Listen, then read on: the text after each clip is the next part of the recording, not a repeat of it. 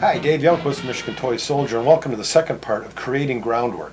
Today we'll be using grass tufts from Joe Fix, Fredericus Rex Green Line grass tufts, uh, Hudson and Allen Forest Litter Field Grass, uh, Winter Grass, and their Static Grass.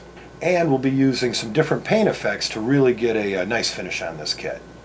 Let's get started. Okay, I've peeled off all the tape from the last session. The, I know that protected the base from all the epoxy putty and dirt that we threw down here. And after the uh, epoxy has dried, I've base coated the entire base with a Vallejo burnt umber, probably my favorite color. That's dried. Now we're ready for some dry brushing. I'm using a Micromark dry brush, which I really like, and we're wiping a bit of that off on a tissue. I'm using Iraqi sand which is a really nice contrast color to the uh, Vallejo Burnt Umber. And we're just going to lightly dry brush over it. When I say lightly, that's important because remember we poured some dirt and debris and we don't want to loosen all of that up. So go over the whole groundwork area with this color. It's just going to make the detail pop and prepare us for the next stages. Okay, I'm mixing up some white glue and a little bit of the burnt umber paint. It's important to use the same color as your base color. Uh, that way none of the glue will show through. Now I've got some of the Hudson and Allen Winter Grass, which is a really great product. And I'm going to cut just a bit off. And I'm not going to cut it too long.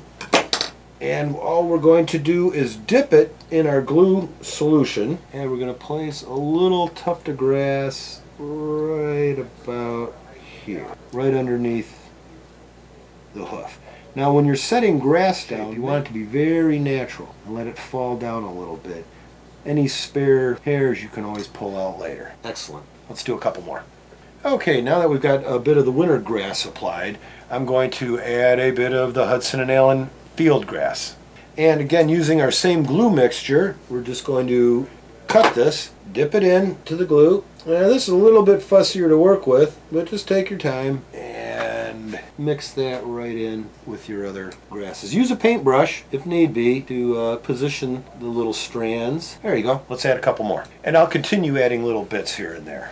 I made up a new batch of the glue and paint mixture and with an old brush I'm just going to paint a bit of that glue mixture uh, in the areas where I want to drop some of the static grass. Now the static grass typically you're going to find is going to be very bright green or yellow and again once it's dry you do want to paint that over uh, give it a more natural look. Stop by next time when we finish up this groundwork and be sure to check out all our videos on the Michigan Toy Soldier YouTube channel.